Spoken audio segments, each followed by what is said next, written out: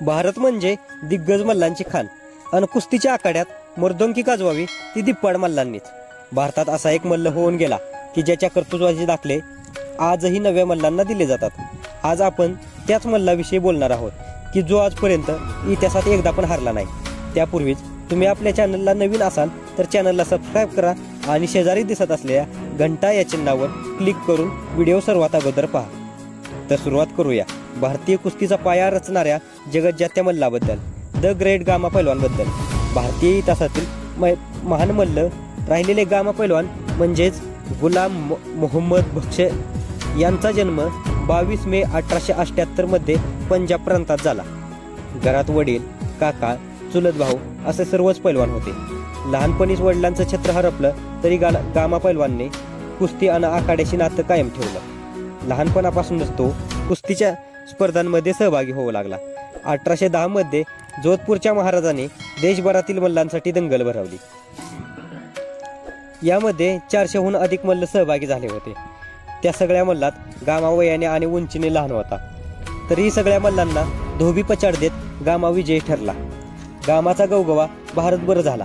Gamma कुस्तीसाठी मोठी मेहनत घेत होता. रोज पाच हजार जोर आणि पाच हजार बैठका त्याचबरोबर पोहणं आणि तीन तास कुस्तीचा सराव चालू होता. अंग मेहनतीप्रमाणे त्याचा खुराक सुद्धा तेवढाच नेटकाच होता. गामा रोज खुराकात सहा गावरान कोंबड्या दहा लिटर दूध अर्धा लिटर तूप अर्धा किलो बदाम पाव किलो रोबडी जिलेबी बकऱ्याच्या हाडाची आखणी एवढं खायचा. त्यांच्या आहाराचं खर्च तत्कालीन राजा भवान सिंह उचलत होते असं सांगितलं जातं. पुढे गामाने रुस्तम ए हिंदसाठी मैदानात उतरण्याचा निर्णय घेतला.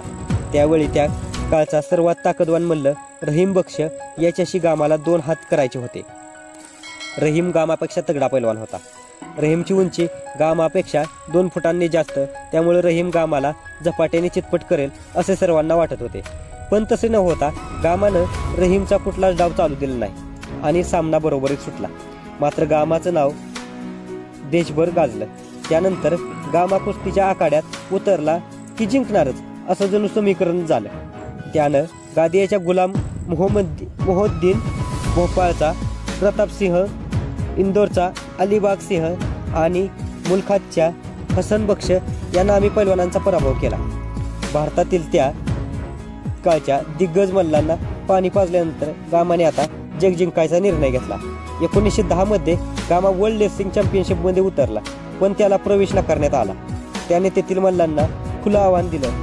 जो कोणी माझ्या पुढे पाच मिनिटं टिकेल त्याला मी पाच प- हजार पाऊंडाचं बक्षीस देईल पण गामाच्या आव्हानापुढं कोणताही मल्ल टिकला नाही.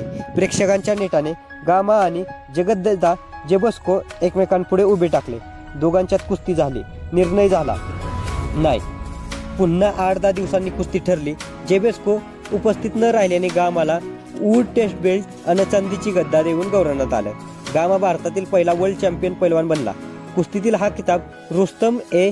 जहाच्या बरोबरीचा होता. एकोणीसशे अकरामध्ये गामा आणि रहीम पुन्हा समोरासमोर आले. पुन्हा गामाने रहीमला धोबी पचाड दिली.